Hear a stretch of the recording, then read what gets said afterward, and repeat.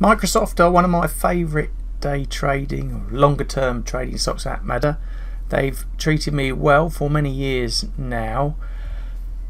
In terms of rivals, they're up there with any of them.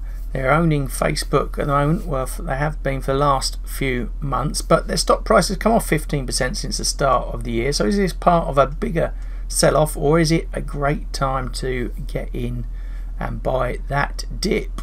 In today's video, I'm going to take a look at the technical analysis and the charts to find out where that price might be heading next. So, with that, let's take a look at the numbers.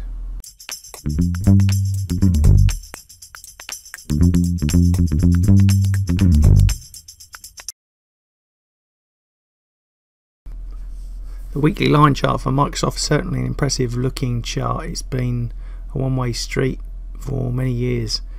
Now they've had a couple of pullbacks. The biggest beginning of 2020, about 27% as you can see on the chart there, and we can see the current pullback around about 15%, but it is following that trend line upwards. So we're going to watch closely the price action at the moment. Could slip down further to the 61.8% line in the longer term if things turn bearish, about $250. But you know, really, this is a strong stock, and with its history and its you know fundamentals, then you wouldn't bet against it moving back upwards.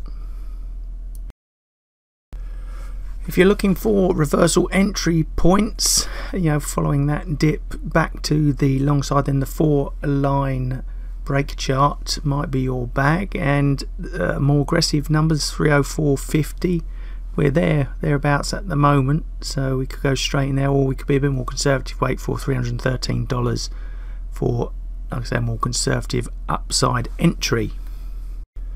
So what's the daily Heikin Ashi chart showing us? Well signals at the bottom weak bearish uh, volatility around about its average 25 26% per annum. Volume trading just under its longer term moving. Average heading up onto the price. We can see the pink and light blue two standard deviation regression bands there and you see the price holding pretty much within there until that recent downtrend. It's broken out but it is trailing the bottom of that two standard deviation move trying to look back into those bands and currently sell signal as well on the two line pink box breakout system but it's there or thereabouts becoming a sort of a neutral sort of set up at the moment. Price looking like it's consolidating around about you know this 305 you know 300 area. For the Renko chart using a $2 block size looking a bit more bullish than the Heikin Ashi chart. All our signals turning bullish there down the bottom.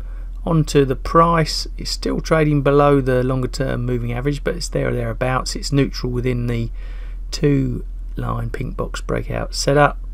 And in terms of targets then you know, upside wise if we can get through this noise then you know 325 340 and then you know breaking through those highs up to the 360 area in the short term could be very possible. Downside wise if it can't hold here then look for those key Fibonacci numbers especially that one looking around about 285 dollars.